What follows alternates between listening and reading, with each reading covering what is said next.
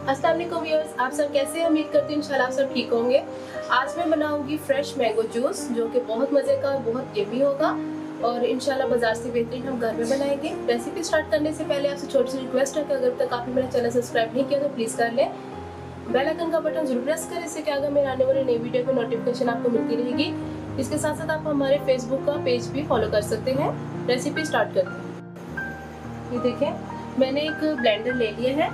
और एक अदद हमें चाहिए मैंगो मीठे वाला वो हम डाल देंगे। अब इसमें मैं डालूँगी तकरीबन हाफ़ ग्लास प्लेन पानी।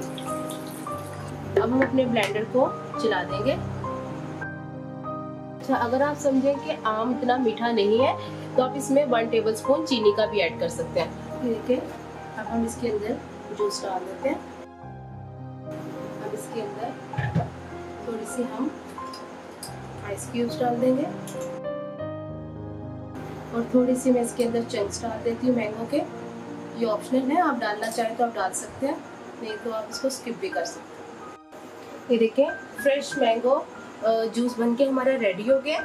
और आप मुझे कमेंट बॉक्स में बताना, आपको रेसिपी कैसी लगी है। अगर अच्छी लगी है तो अपने फैमिली फ्रेंड से ज़रूर शेयर करें और चैनल पर जाकर ज़रूर सब्सक्राइब करें।